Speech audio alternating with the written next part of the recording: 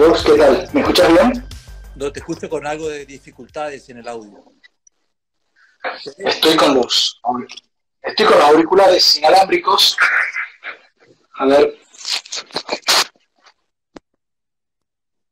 ¿Ahora?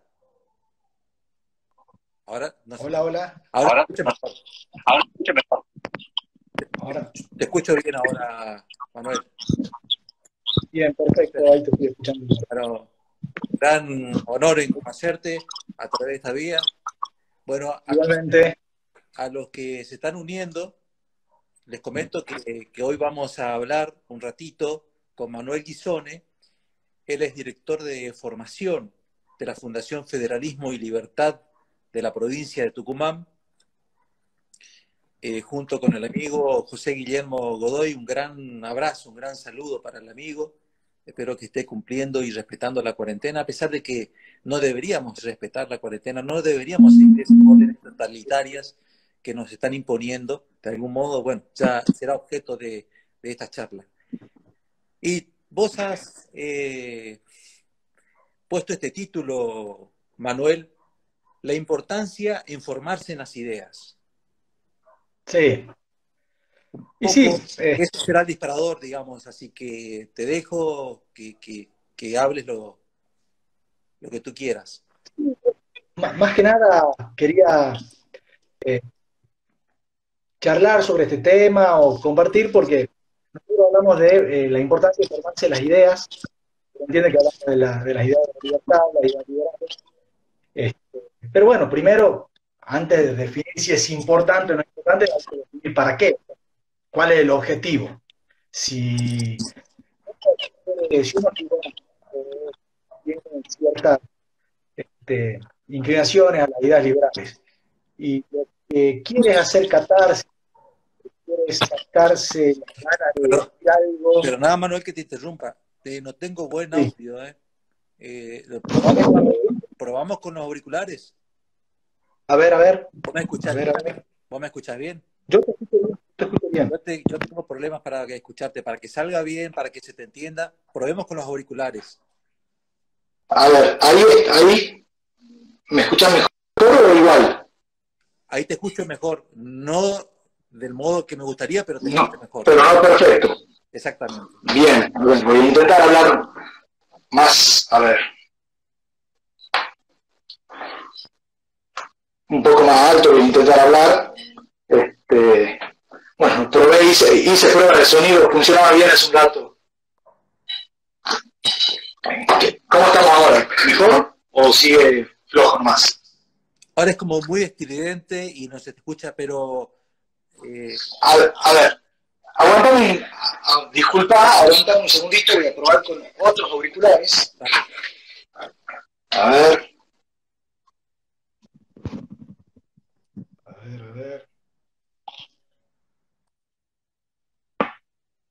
Yo creo que. Yo creo que. Hay que tratar de que, se entienda lo que quiere decir Manuel, porque Manuel tiene algunas ideas que a mí me va a interesar y que nos va a interesar a todos, sin dudas. Así que tratemos de mejorar el audio, que es lo principal.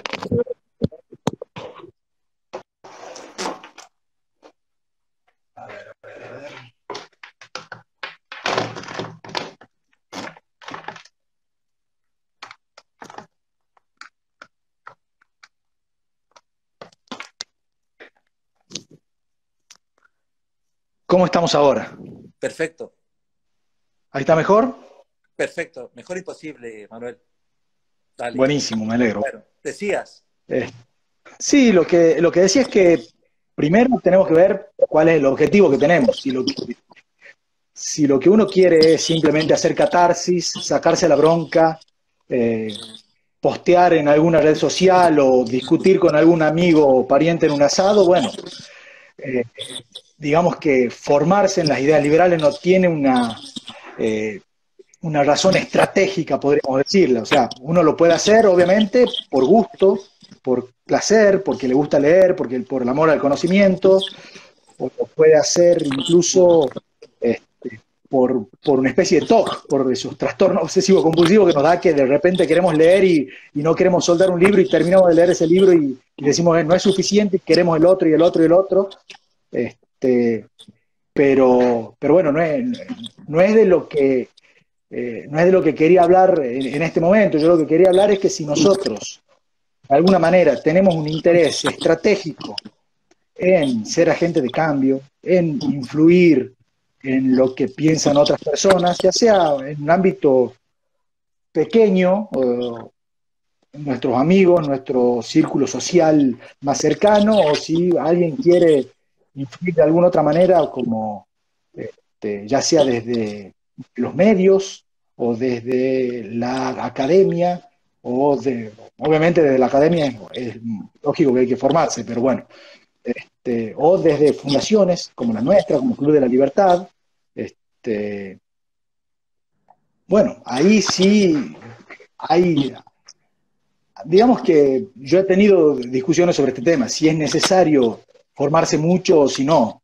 Hay algunos que te dicen, no, mira, el liberalismo son tres, cuatro ideas que hay que conocerlas, hay que repetirlas como idea fuerza, la gente las va a ir adoptando porque la gente eh, repite lo que escucha y ya está, no hace falta mucho más. Después yo, yo creo que no es así.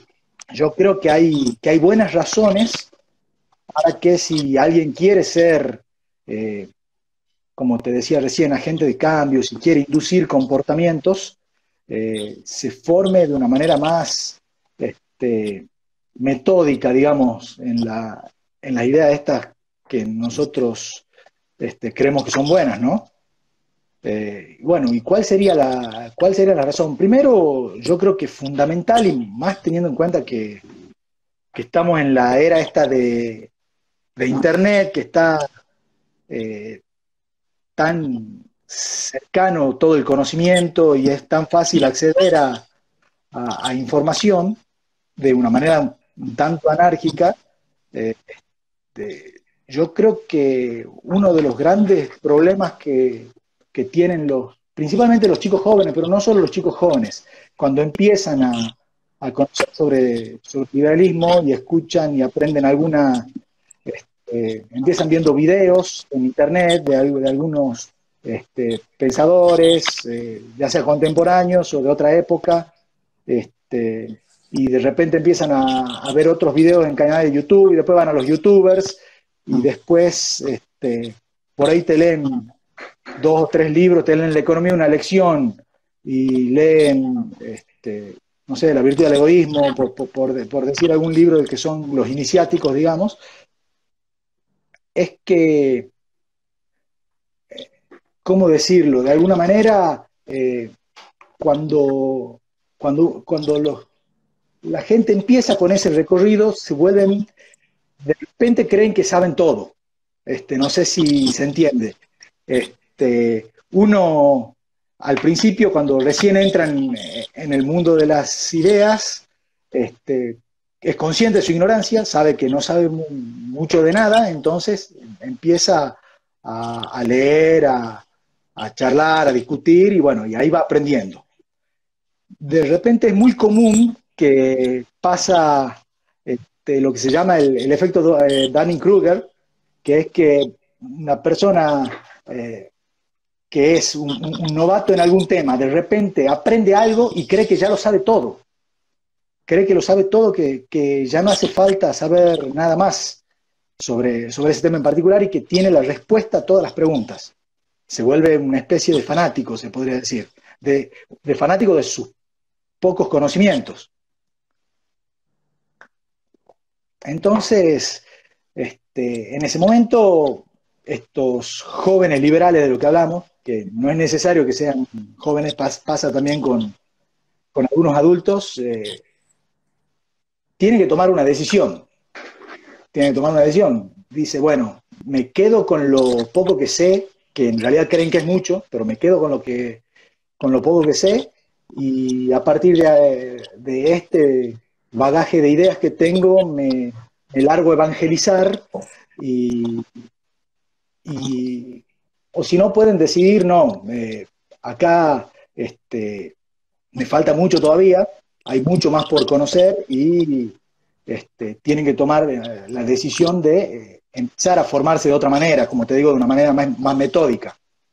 Este, bueno, el, problema con la, primera decisión esta es que generalmente eh, esta decisión soberbia o, que genera soberbia no es buena a la hora de, inducir comportamiento, que es el, este, el objetivo primero que uno tiene. No sé si se entiende lo, que te estoy diciendo. En vez de convencer al interlocutor, se genera rechazo. Este, y no solo eso, sino que muchas veces hay muchas preguntas en las que no estamos este, capacitados todavía para, responder. Entonces queda eh, queda muy, muy, muy obvio que uno no tiene esas respuestas y pierde, la, y pierde ya sea una, puede ser una discusión o puede no ser una discusión, puede ser, este, como te digo, si alguien se dedica a los medios, puede hacer un artículo periodístico que tenga, que sea muy fácil este, refutar o, o bueno, o, desde alguna de nuestras organizaciones, o desde la política, por ejemplo, algún político puede, puede opinar alguna... Eh, algún barbarazo de alguna manera y pierde autoridad moral para, el futuro. Así que, así bueno, por, por ahí va la, idea. Yo creo sí que es importante la, la, formación metódica, como te digo, eh, de las personas que quieren ser agente de cambio. y, por eso, sí, ah, te escucho. al respecto de lo que decís, Manuel, eh, me acuerdo me, haces acordar a lo que siempre hace hincapié, subraya Alberto Venegas Lynch, cuando dice que eh, los conceptos liberales siempre están sometidos a prueba y error. Nunca, no Exactamente. Son, no, son eh, pétreos, no son dogmas eh, imbatibles. Y tal vez, tal vez lo que vos estás diciéndole, yo veo también, quizás coincidimos, en que le está pasando mucho a la juventud, a la, digamos, a aquellos jóvenes que están saliendo de la secundaria, que hoy por hoy, bueno, eh, son seguidores de mi ley, eh, tienen una efervescencia tal de que no admite la posibilidad de que, bueno, primero, estamos en un pluralismo. En segundo lugar, yo creo que eh, mi balance es que en los últimos 6, 7 años hemos logrado instaurar en la sociedad por lo menos un concepto que es básico para que sea el plafón para nuestras ideas, que es la sociedad, por lo menos gran parte de la sociedad, un 50% de la sociedad argentina, sabe que lo malo de la Argentina es el gasto público, lo malo es eh, el, exceso de, Estado, lo malo es eh, el político que, que, se atornilla en su sillón, que hace de una profesión la política y que vive de la política. Y eso, al estar esos factores, es muy fácil, digamos, ligar con nuestros discursos, que son discursos que en otros países hicieron que, sean eh, de primer mundo, donde hay bienestar, donde hay un ingreso per cápita eh, muy holgado, pero hay que hacer entender a, la, a la población y sobre todo yo soy convencido de que no nos queda otra que no solamente hay que cultivar el terreno, sino también en lo electoral, en el 2021 y en el 2023 hay que prepararnos. No hay manera de que este Estado cambie si nosotros no gravitamos en la política partidaria electoral. No, no, no, no veo otra forma. Y por último, para que sigas tu reflexión, déjame comentarte una, una experiencia mía. Yo me recibí en la UNE como abogado, he leído mucho de ciencias políticas Jean Bodin, eh, la teoría del poder, etc. O sea, salí con una formación eh, rusoniana, el pacto social, y sin embargo nunca me convenció porque yo tenía adentro, muy, adentro mío, eh, mucha curiosidad en entender por qué el liberalismo, qué es el liberalismo, tal y así que me, afilié a un partido liberal desde muy joven y comencé a hacer mi propio, digamos, mi autodidacta y me acuerdo mi primer libro que compré que me abrió el panorama, que fue Planificación, Fin de las Libertades, de Alberto Venegas Lynch. Y ahí comencé, y tal es así que comenzamos eh, con charlas de café con Alberto Medina Méndez, que fue un poco también, en este momento te digo, mi, mentor, que me ha invitado a las lecturas de, escritores de la escuela austríaca. Y, bueno, hemos he ido avanzando, pero está bien lo que decís, hay una metodología que tenemos que seguir eh, y prestarnos eh, al diálogo y prestarnos también a eh, estar seguros de lo que decimos para en un caso que se presente de, un debate civilizado con alguien que, que, es estatista, que es colectivista, tratar de argumentar como para poder refutar las ideas socialistas, ¿no? Sí, mira, vos cuando hablabas de, de Alberto Venegas Lynch, justamente, eh, yo hoy cuando pensaba en lo, en lo, que íbamos a charlar, pensaba justamente cuando, cuando él nos dice que muchas veces nosotros nos enojamos, nosotros diciendo de alguna manera, este, este, este grupo que se puede llamar eh, los liberales, se enojan con los políticos porque los políticos no proponen ideas que a nosotros nos gustaría.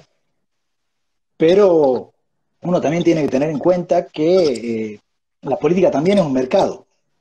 Y si no hay receptividad, si no hay un plafón de ideas alrededor en la sociedad que esté dispuesta a, aceptar esas, propuestas políticas, eh, obviamente eh, el, político tiene, su, tiene sus incentivos. Sus incentivos, ellos buscan ganar elecciones, buscan este, mantener su trabajo, como vos lo decías, y y bueno, por, eso la importancia de la, de la, batalla cultural de las organizaciones como la de ustedes, el Club de la Libertad, que es algo fantástico lo, que hacen el laburo que, hace Alberto Medina Méndez es realmente, eh, nosotros siempre hablamos de que de, la ética de trabajo que tiene es algo fantástico.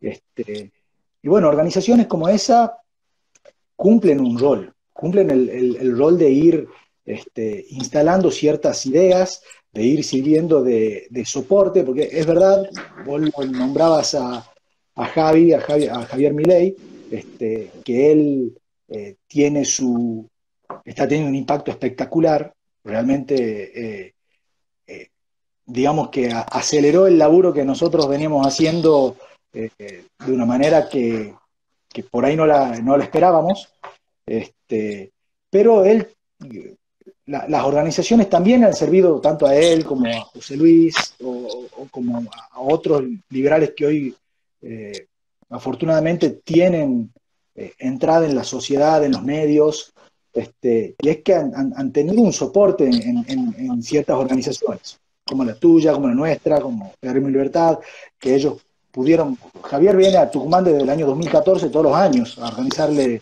nosotros lo organizamos este, conferencias, charlas. Este, obviamente hoy nosotros vimos ese proceso hacia la popularidad, en el que al principio no lo conocía nadie, él era un, tipo serio que venía a hablar de números, y de repente uno iba caminando por la calle y, era un, y es un rockstar y, no, y, la, y gente lo para para sacarse fotos, y que no solo eso, sino que lo quieren, es algo fantástico. Un tipo que dice las mismas ideas quizá la decías vos o la decía yo y, no, nos tiran con un, este, con, tomate, claro, con un tomate y él dice lo mismo que decimos nosotros y, a la gente le gusta, este, pero las organizaciones como las nuestras, como Libertad y Progreso en, Buenos Aires, la Fundación Carta Rosario, este, no me quiero olvidar de, todas las otras, pero, pero sirven como, como un soporte.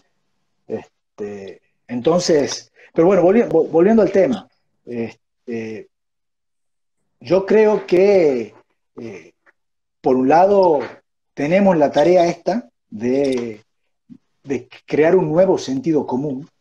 Este, se habla mucho de la, ventana de Overton, que son las ideas que la, que la gente está dispuesta a aceptar, entonces que vos pasás desde, vos empezás con ideas que parecen extremistas o inaceptables y de repente de, mucho repetirlas, la gente se va acostumbrando y les va empezando a parecer este, de repente les parece aceptable, después les parece algo lógico y después se terminan transformando en políticas públicas.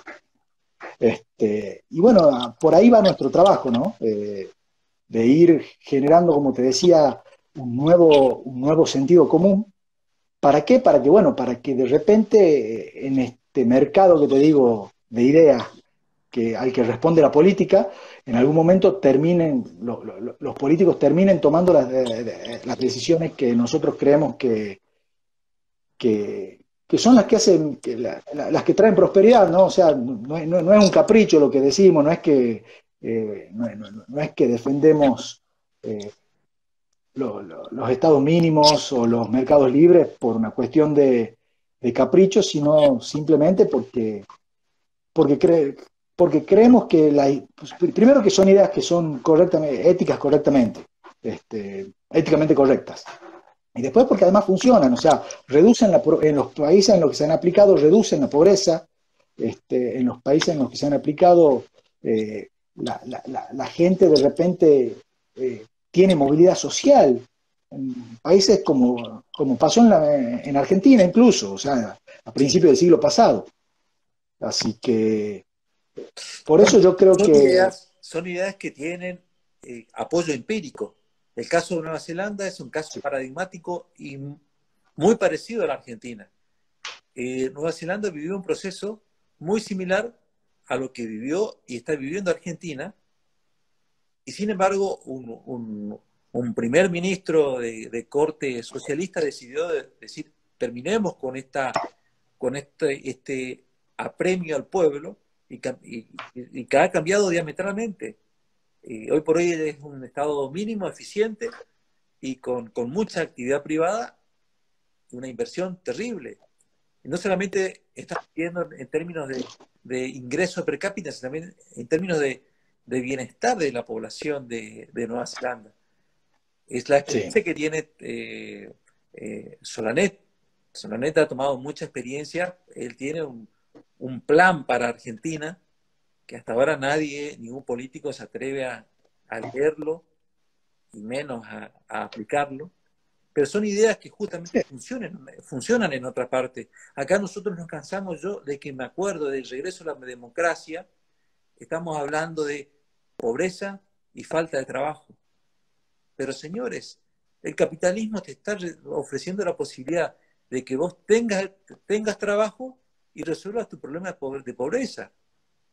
Y no lo estamos haciendo porque somos eh, eh, combatir al capital, con todo ese versito, digamos, tenemos y que, mucha gente tiene incorporado. Nos estamos yendo eh, hacia una Venezuela. Si bien no somos, somos muy diferentes, pero nos estamos deteriorando no estamos deteriorándonos. Sí. Bueno, por eso hago hincapié en lo que te decía recién de la, de la ventana de Overton, ¿no? Vos fíjate que cuando, cuando se hacen propuestas eh, de aperturistas eh, o, de, o, de, mercado para Argentina, eh, mucha gente te termina tratando, en general te terminan tratando de extremista, siendo que no se propone nada, nada muy loco, nada fuera de lo normal, nada distinto a lo que están haciendo los países que están alrededor nuestro. O sea, eh, cuando uno dice el gasto público debería ser eh, aproximadamente, debería rondar el 25%, y te dicen que estamos locos, pero escúchame, si 25% es el promedio de la región. O sea, si vos, eh, no, te estoy diciendo que quiero que sea Singapur, por decirte una cosa, o sea, no, no, no, no, no, no, se hacen propuestas ni siquiera los candidatos liberales que, hubo y, los que si, si, tenemos suerte va a haber el año que viene, este, nadie propone nada extraordinario, te diría. Además, te, proponen cosas bastante normales. Este, por eso es importante, por eso es importante que, que, vayamos dentro del ámbito que tiene cada uno, este, instalando ciertas ideas para que la gente se vaya acostumbrando a ellas. Una vez que la gente se acostumbra, eh, después de un tiempo deja de parecerle una locura y después de un tiempo ya, si uno trabaja de, manera seria, metódica, este, sostenida en el tiempo puede, puede transformar en políticas. Yo creo que, eh, yo estoy convencido, ¿eh? hace tiempo lo vengo diciendo, yo adhiero a, los proyectos eh, proselitistas y políticos que se están gestando en Cava, con López Murphy, con, con Echevarri, que tiene otra línea, pero yo creo que todos algún día vamos a confluir. acá también se está intentando en, la provincia de Corrientes. Estimo que en, Tucumán también, más tarde vamos a hablar si hay algún tipo de, de proyecto eh, político para generar un instrumento para proponer candidatos. Eh, nosotros acá necesitamos, eh, porque no, tenemos acceso, yo pertenezco de un partido tradicional, liberal, que realmente ha defendido la constitución, esa es la de Verdi, pero hoy por hoy se ha convertido en, una sociedad anónima de tres o cuatro propietarios que son ellos los que hacen el negocio con el gobernador y son ellos los que dirigen los destinos del país, del, partido, sin seguir la plataforma política. Te votan cualquier ley estatista, digamos que eh, regulaciones, le matan la actividad. Acá tenemos la forestal, eh, que, está, eh, está por supuesto rezagada porque no hay tantas libertades, hay muchas regulaciones, impuestos, entonces esas cosas hay que ir trabajando y creo yo que el único camino es también eh, para aquellos que les gusta vocación política y llevar este mensaje al barro, pero llevar un mensaje claro, sencillo. Yo no puedo ir a hablar a un barrio en, en sueco, en sueco. Tengo que aprender yo el lenguaje de esa gente para llevar mis ideas a ese, a ese barrio, a esa comunidad, eh, para que me entiendan de manera clara y también pelear fuertemente por recobrar la cultura del trabajo. Sí. Sí, este. con respecto a, lo que decís, uno habla por ahí de la, de, la cultura del trabajo y, muchas veces eh, se remite a la, a la, eterna discusión esta de si si la cultura es la que genera instituciones o las instituciones son las que generan cultura. Este, ¿Cómo puede ser que Argentina haya tenido cultura del trabajo en, una época de, su historia y de repente la haya perdido? ¿La gente era la misma o no? No era la misma. Eh, algunos te dicen, le echan la culpa a los inmigrantes que vinieron, otros este, te dicen que, que no, que en realidad nunca tuvimos cultura de trabajo, sino que nos habían implantado una, constitución en la cual los habitantes no la sentían, entonces funcionó durante un tiempo y, después dejó de funcionar. Este, pero yo creo que, si nosotros tenemos la, necesidad y la obligación de trabajar en los dos ámbitos, tanto, este, tanto en el ámbito de la cultura como en el ámbito institucional, o sea, intentando influir en las políticas públicas. Es verdad este, lo que decías vos, lo que dice este, Alberto Beneslis, lo que decía Hayek en su momento, que eh, no se puede, que es muy difícil eh, que los políticos tomen decisiones que la, que la gente no siente de alguna manera, con la que no están de acuerdo. Pero también está lo que, lo que nos dice Milton, lo que nos enseñó Milton Friedman, tanto en teoría como en la práctica, que hay momentos en los que la política se queda sin respuesta para, alguna situación, que de, esa manera este, tiene que haber alguien eh, generando contenido, generando ideas, eh, generando este, proyectos para que los políticos de, eh, en ese momento las pongan en, en, práctica. Es lo que pasó en su momento en la experiencia chilena, eh, con lo que no, no había, el, gobierno en ese momento de facto no tenía respuestas para la, para la debacle económica en la que se encontraba Chile después del gobierno de Allende. Eh, el primer año fue muy malo y después decidieron, este, y después se dejaron convencer o, pudieron convencerlo de que había un camino, de que se podía este, trabajar de otra manera. entonces, y hay una situación más o menos parecida o de alguna manera análoga a la de Argentina con Alberdi, ¿no? Alberdi, este, él no tenía, eh, no tenía cargos públicos no, en su momento, en el, en el año 52 ni siquiera estaba en Argentina. Este, y, y, claro, y convenció desde afuera del país a un caudillo federal como Urquiza que había que hacer una constitución y que la constitución tenía que tener ciertas, este, ciertos contenidos, ciertas ideas, y lo logró convencer y la llevó adelante. Este, ¿Cuál es el problema con eso?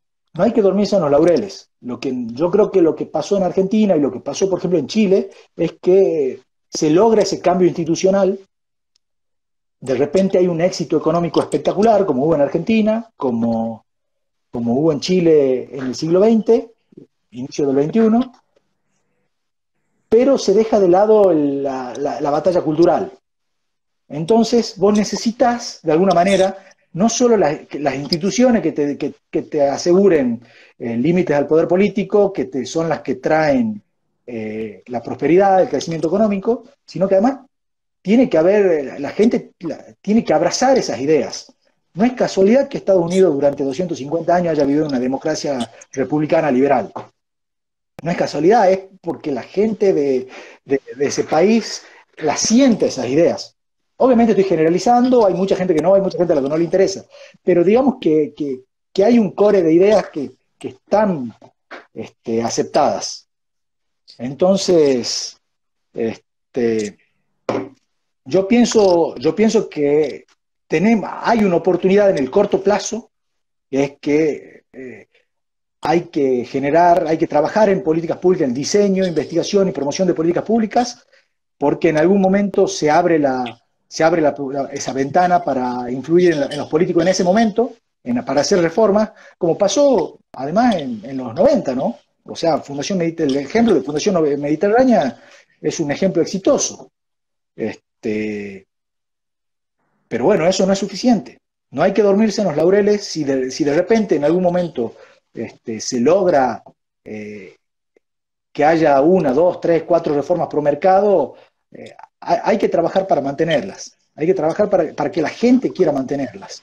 Hay una encuesta, Manuel, eh, que hace un par de años se publicó una encuesta internacional que ha medido países desarrollados y subdesarrollados como el nuestro, y lo, importante y lo preocupante es que Argentina, el 65% de la población cree que es el sector público el que genera trabajo y el resto es el sector privado el que, genera trabajo. O sea, hay un fuerte estatismo eh, y ahora se está dando esto de que eh, se está pensando que las ayudas extraordinarias que el Estado ha dado a las empresas para poder pagar eh, sueldos a sus empleados, empresas que por la pandemia no están trabajando, tienen la idea de eh, quedarse con cierto paquete accionario de estas empresas.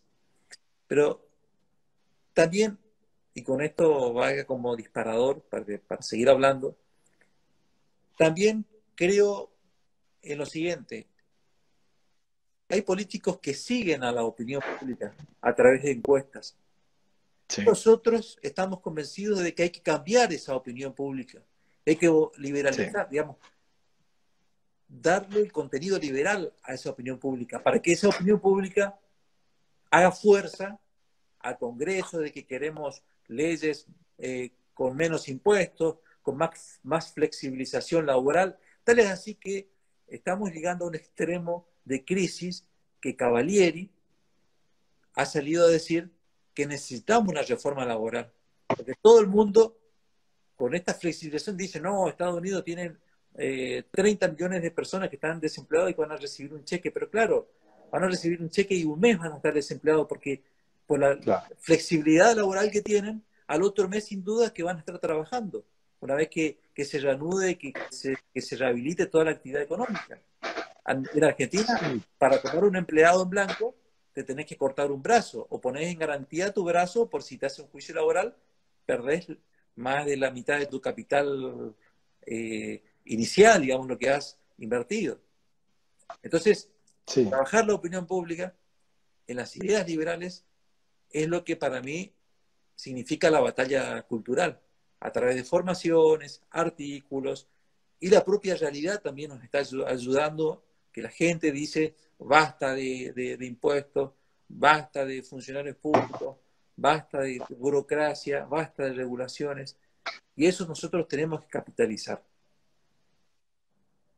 Sí, este, pero volvemos a, la, a, lo que estábamos hablando, ¿no? O sea, eh, yo no creo, eh, a ver, puede haber políticos liberales que trabajen, que, utilicen, digamos, Argentina es un país que está muy estatalizado, entonces, si uno quiere tener este, de alguna manera eh, pantalla o, algún podio para poder hablar, eh, digamos que tener un partido eh, funciona a ese, a ese sentido, que es lo que hacen, es lo que hace la izquierda, o sea, la izquierda utiliza la, ellos no tienen la idea de, de llegar al poder por medio de la política, saben que no lo van a hacer, la izquierda, digamos, más extremista, Partido Obrero, el Frente, Izquierda, este, pero sí utilizan las armas que le da la, que da, la política para difundir sus ideas, ¿no?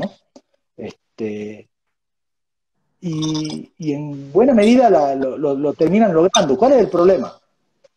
Para ellos no hay una, eh, digamos, un, problema ético, un problema moral en hacer eso, porque ellos, eh, primero que creen que el fin justifica los medios, este, todo lo que llega a, a la, instauración del socialismo es moralmente correcto, por ahí nosotros decimos, no, mira, el fin no justifica los medios, este, no, no tendríamos que... Eh, entonces entra en esa encrucijada. Me, ensucio en, el lado de la política o no me ensucio. Yo sé que si entro va, a terminar pasando o voy a terminar aceptando un montón de, cosas, pero bueno, por, por otro lado, este, tenemos la ventaja de que vamos a poder aparecer en un debate, que vamos a poder aparecer en, eh, en publicidad oficial y ese tipo de cosas. Este, la verdad que es algo que, que es difícil resolverlo. O sea, yo tengo más dudas que certeza en ese tema, como en la mayoría, ¿no? O sea, como en la mayoría de las cosas. Pero, pero en ese tema en particular eh, eh, es difícil. No sé si decir no, no hagamos política me parece muy galletital, te lo diría, en términos este, que, usan algunos amigos, este, decir, no, hasta que no se cambie el sistema no vamos a hacer política. Eh, no, entonces, para, mí no tiene sentido algo así. Hay que buscar la manera de, hacerla de la, de la, manera en la que se respete de, mejor manera nuestros principios, ¿no? Yo digo para los que quieren hacer política. Obviamente no es, no es el camino que yo he elegido. Quizás yo elegí, alguno podría decir la fácil, no se compromete. Entonces pone una fundación y, difunde ideas liberales. Este, puede ser, la, verdad que este, yo espero que espero que haya una plataforma política para que difunda, que difunda y que proponga nuestra idea y que ponga diputados en el 2021, que haya diputados que, que propongan cuáles son nuestras ideas, ¿no? Porque además cuando hay mucho, hay mucho malentendido cuando se habla de qué es el liberalismo, o sea, por ahí, como vos decías, hemos trabajado mucho en algunas ideas fuerza y, bueno, hay gente que termina creyendo que el liberalismo es querer que baje el gasto público. Y no, o sea, el liberalismo es querer que el poder político tenga ciertos límites, límites taxativos, este, que el rey no puede entrar a tu casa, que te tenga que, te tenga que pedir permiso para entrar a tu casa. ¿Entendés? Que, que no haya... En tu teléfono. Claro, que, o sea, ha sido un proceso evolutivo de muchos años, ¿no? O sea, terminar con el, con, el derecho de pernada, eh, por decir una cosa, terminar con el, eh, con el derecho, eh, o, empezar con la idea de que cada eh, cada casa, de, la casa de un hombre es su castillo, o sea que el rey tiene que pedir permiso para entrar, este, de ahí más el derecho al debido proceso.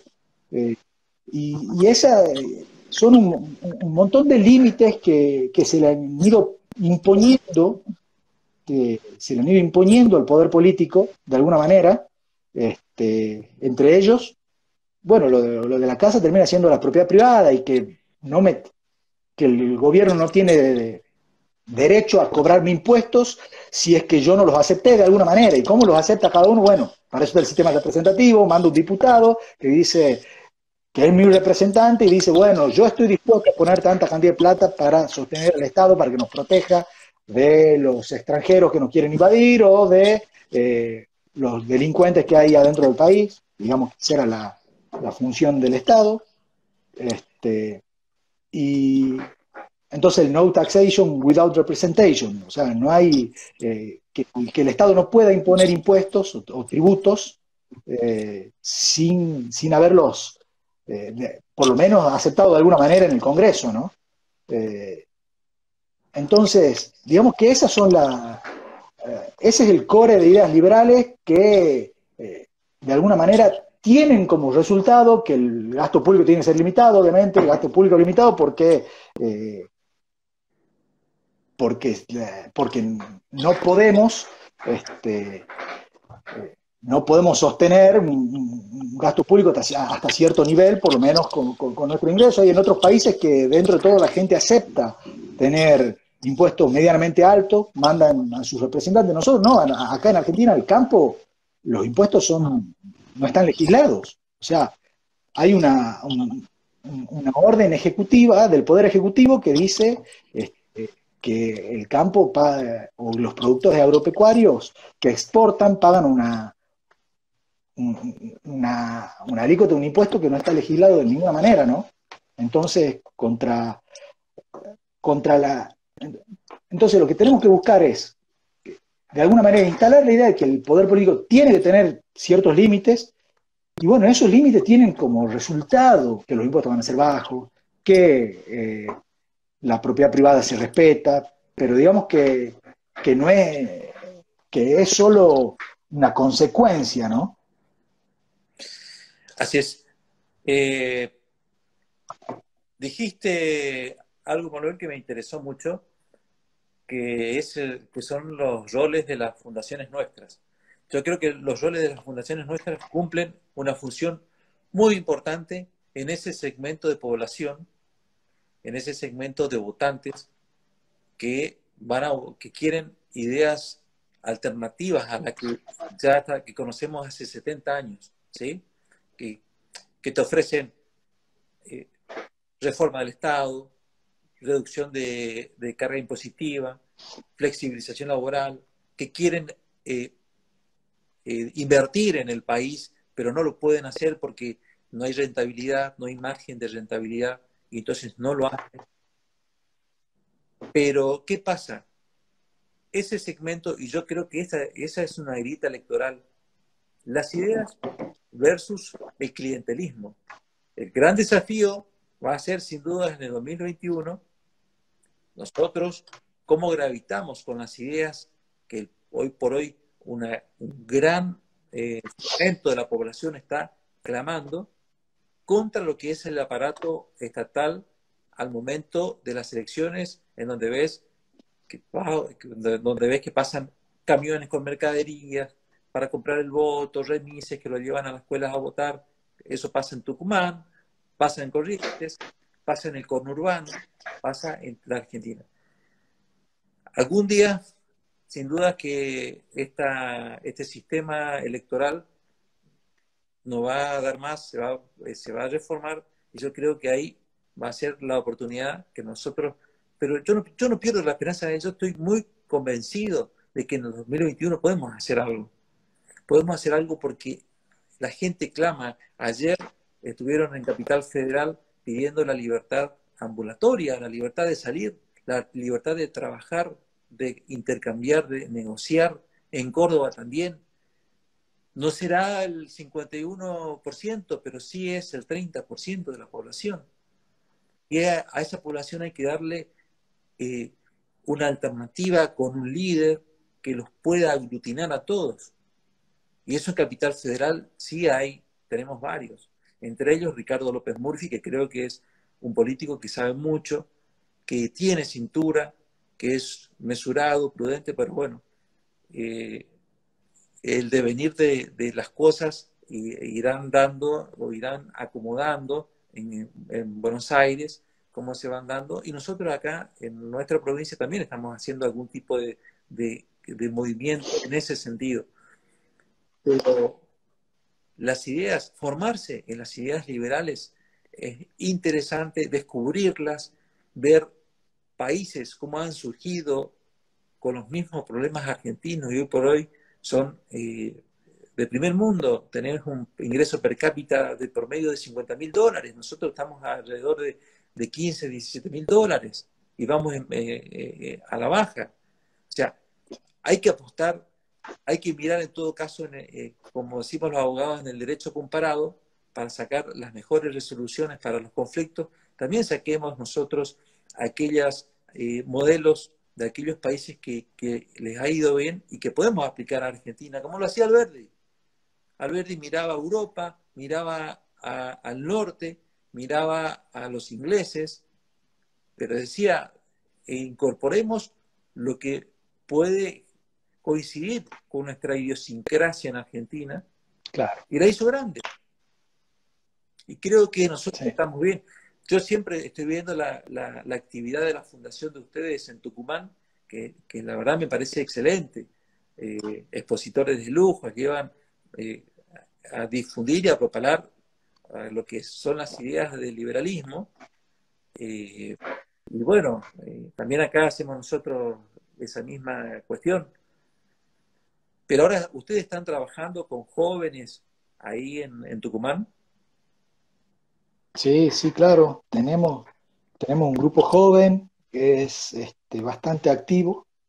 Este, en realidad, a ver, nuestra, en la fundación yo soy el más viejo. O sea, a pesar de que no sé si se darán cuenta que no soy un adolescente, este, pero, pero, el, pero el más grande de, de, todo el staff de la fundación soy yo que tengo 38 años. Después está José Guillermo que tiene 30, 38, 38 ya. Este, no soy un, no, no soy un centennial. No te atrevas a preguntar mi edad.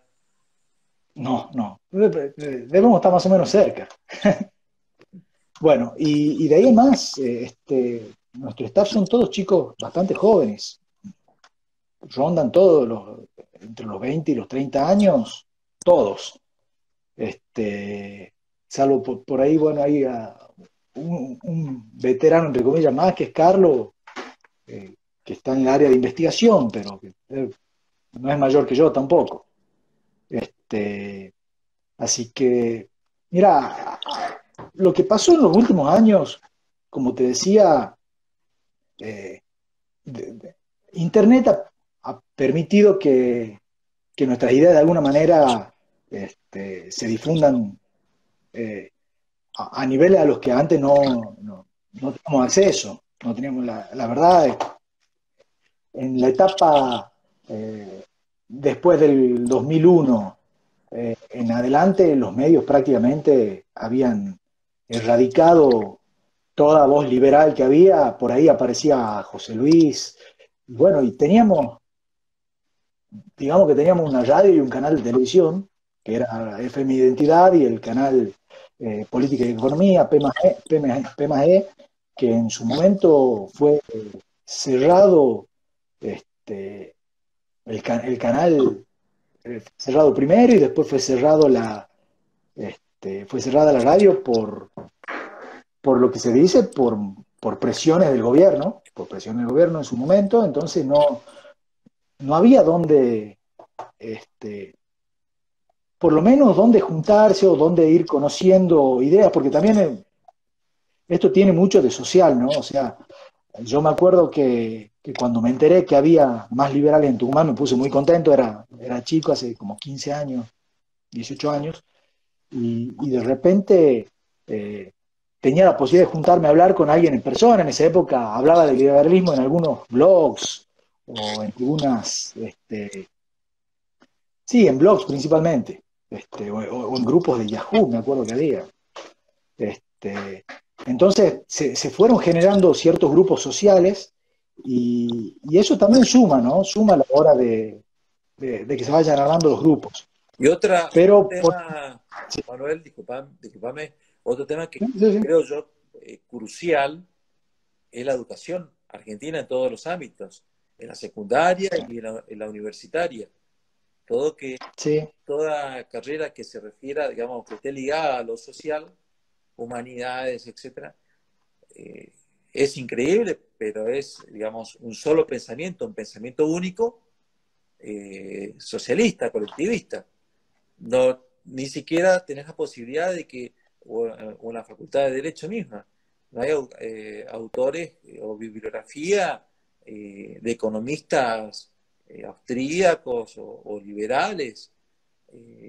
no se estudia los pensadores eh, digamos, decimonónicos de, eh, escoceses, Adam Smith, Hume, no, no lo tenés. Tenés a Kant, tenés a Rousseau, eh, tenés a, a, propio Smith, el pensador alemán que ha sido el, el mentor en ideas de, Hitler, digamos.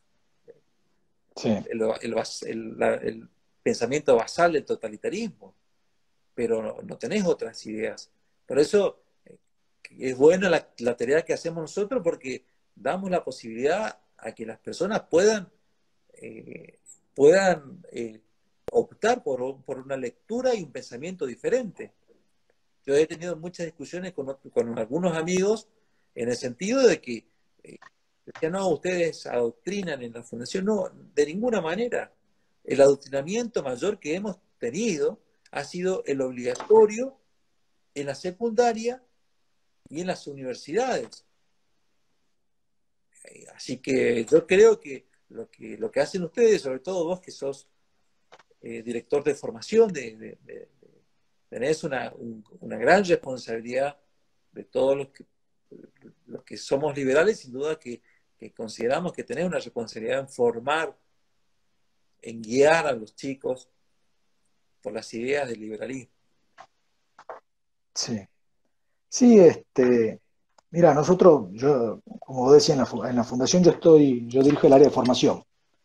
Digamos que el área de formación tiene, está dividida en tres departamentos.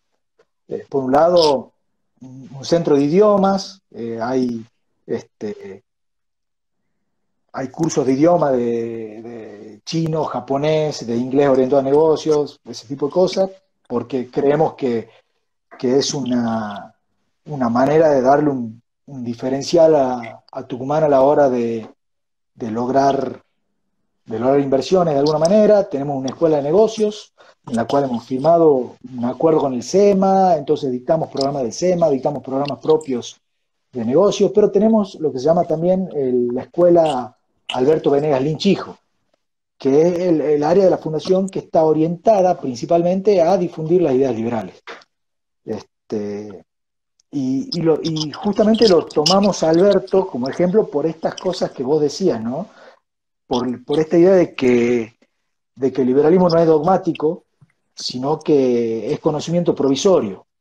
Este, y, que hay que seguir este, incorporando conocimiento este, y, no, y no cerrarse a, una sola idea, ¿no? Entonces, ahí en, la, en esa escuela tenemos un programa de jóvenes líderes que este año ya va, por el tercer año, que bueno, obviamente la cuarentena frenó todo, iba, iba a empezar en abril.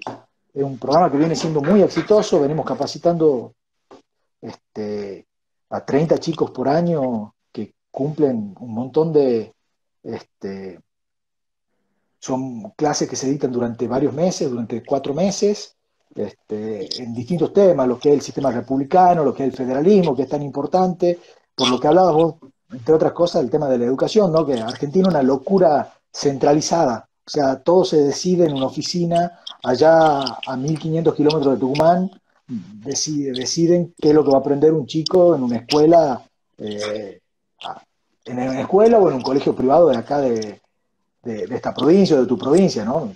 Pero bueno, este, por un lado eso, tenemos un club de lectura en el cual todos los años este, se reúne, ahora lo estamos teniendo por Zoom, este, invito a que participen, obviamente, aprovechemos que, estamos más cerca ahora gracias a la tecnología.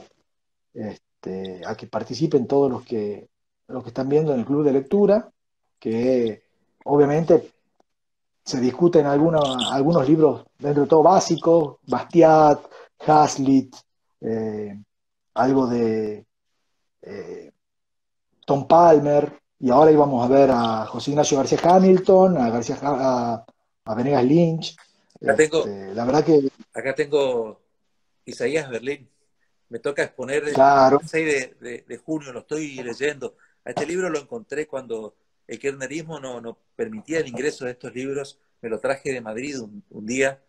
Así que acá, mira, eh, muchos están preguntando lo siguiente, eh, Manu, mira, eh, sobre respecto a la, a la de las empresas que está proponiendo la diputada Vallejos, la última kirchnerista, pero hay que decir algo ahí, porque o se explota o se necesita necesariamente para que las acciones pasen a ser estatales del consentimiento de los demás socios.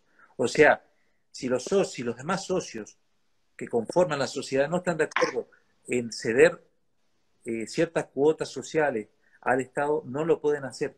Y ahí podría venir la expropiación. Eso sí sería peligroso. Eh, nada que ver a lo que ha sucedido ahora en las noticias, hemos leído que eh, Lufthansa ha sido rescatada por el Estado alemán eh, cediendo parte de su cuota accionaria, su paquete accionaria, pero estamos hablando de otra, de otra cultura totalmente distinta a la nuestra, que es eh, absolutamente escandalosa, corrupta, tenerlo a, un kirchnerista en tu empresa para que te esté controlando y te esté diciendo qué es lo que tenés que producir, me parece eh, patético. Pero yo aún así creo que esta, esta, esta, este proyecto de ley de, impulsada por la diputada Vallejo no va a salir, porque si sale yo creo que, va, va, a haber una corrida social.